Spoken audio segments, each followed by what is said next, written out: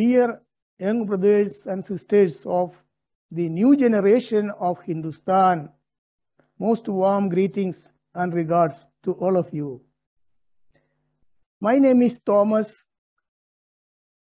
and having reached almost 70 years of age, I do belong to the old generation, obviously.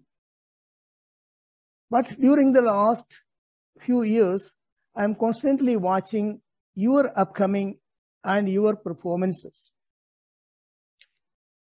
Your extraordinary academic achievements,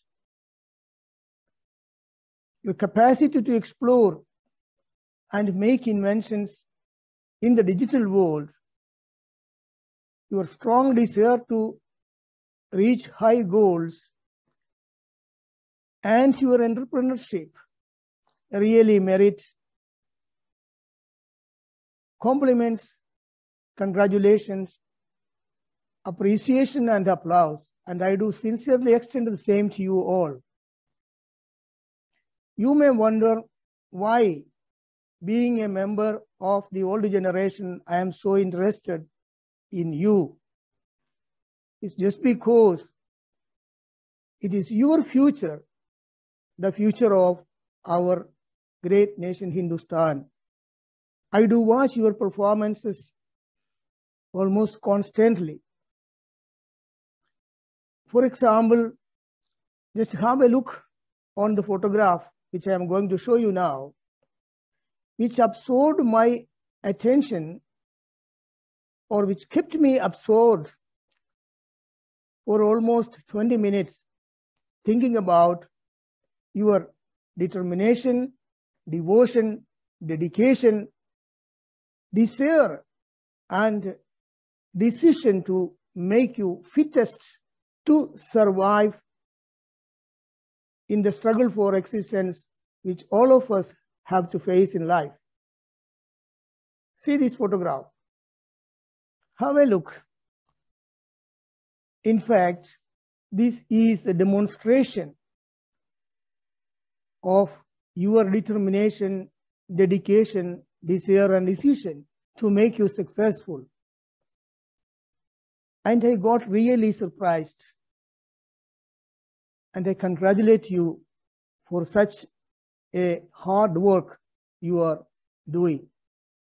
While you are dedicating your time and energy to make you excellent in the academic subjects such as science, technology, engineering, uh, economics, finance, banking, administration, management, etc.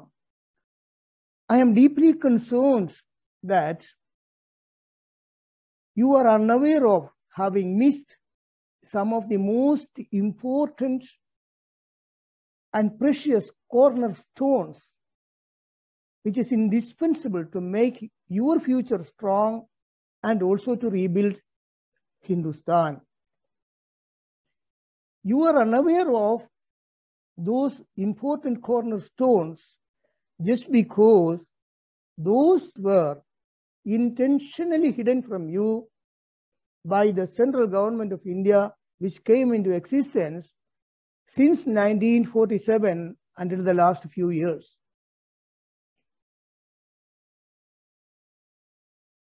And those cornerstones are the most important episodes happened in the true history of Hindustan. About 600 years of Islamic invasion and their dominion. And thereafter, about 400 years of the European invasion and their dominion had practically destroyed our nation and cancelled our true history. That's what happened. And due to their continued influence, even after 1947, the true history of our nation is not yet included in the scholastic syllabus. And so during the course of time, it was almost forgotten or we have lost it.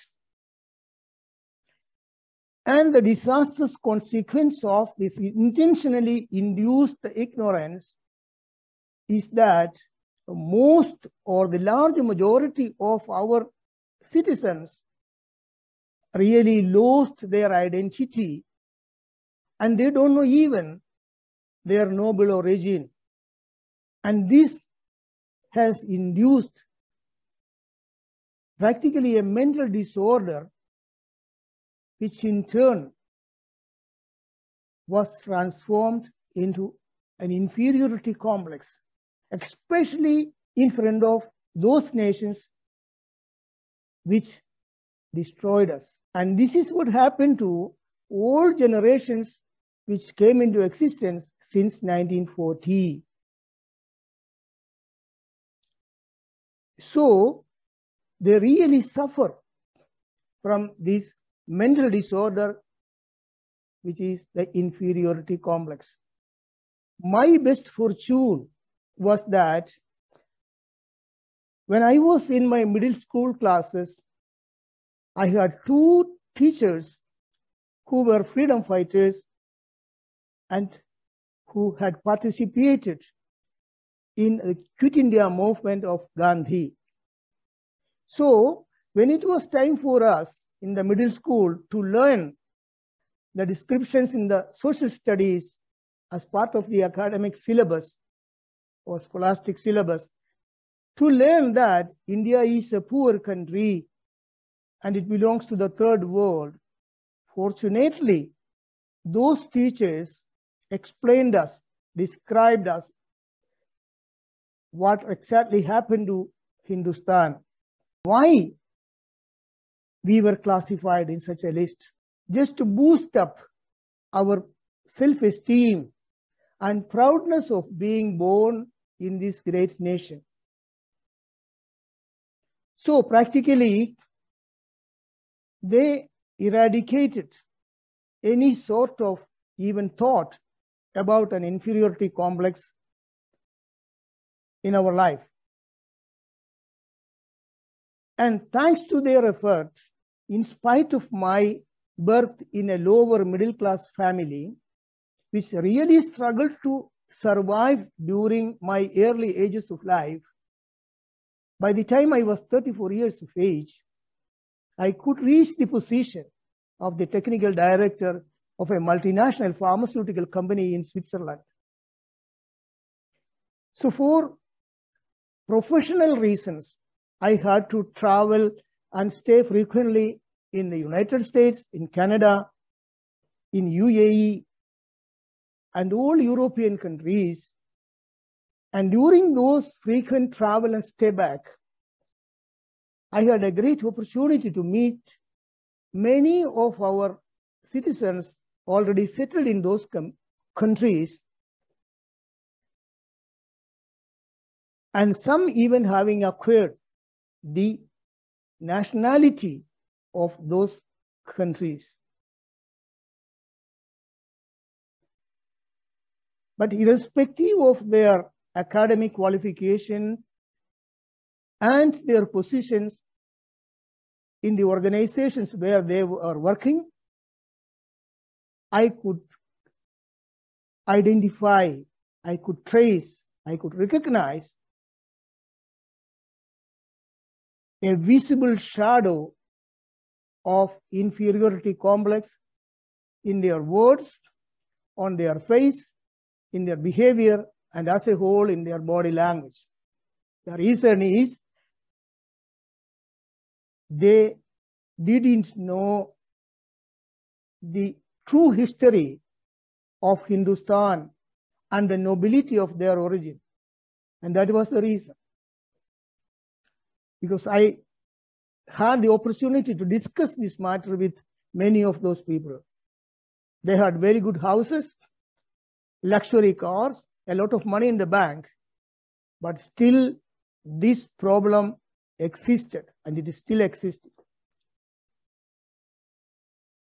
So if you go to Google and simply type inferiority complex of Indians, you can find not less than 100,000 articles and hundreds of videos handling this problem or discussing this problem. So it's a public secret. This is the effect of the disastrous mental disorder, which then turned into inferiority complex. Until there is a trace of inferiority complex in any deep corner or angle of your mind, it is so difficult to keep your backbone upright and look into the eyes of any person of any country only with mutual respect and nothing more. So it is my desire to share with you my experience and information I have gathered since my middle school classes and during the whole life in such a way that you can have a precise idea of the true history of Hindustan, which will surely make you boost your self esteem, your proudness, and your self confidence for being born in such a noble and great country. So that you can look into the eyes of any person of any nation with only mutual respect and nothing more, keeping your backbone upright.